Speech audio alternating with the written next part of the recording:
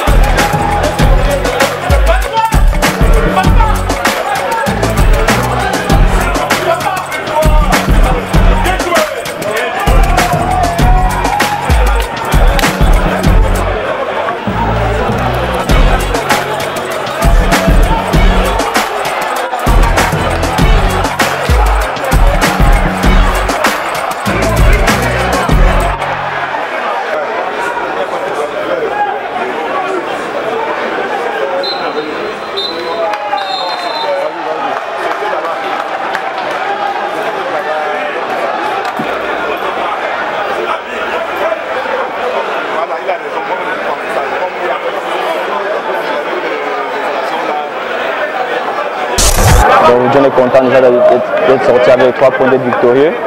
Maintenant sur le plan personnel c'est vraiment euh, encourageant. Hein. Un doublé aujourd'hui ça me prouve que le travail paye, je vais continuer à travailler.